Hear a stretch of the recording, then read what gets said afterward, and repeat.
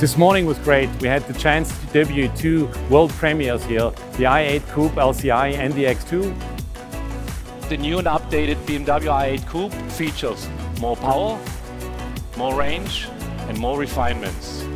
We've sold uh, worldwide in 2017 more than 100,000 electrified cars. And I'm optimistic that thanks to our strong investments in this technology, we will see further growth uh, in the US market.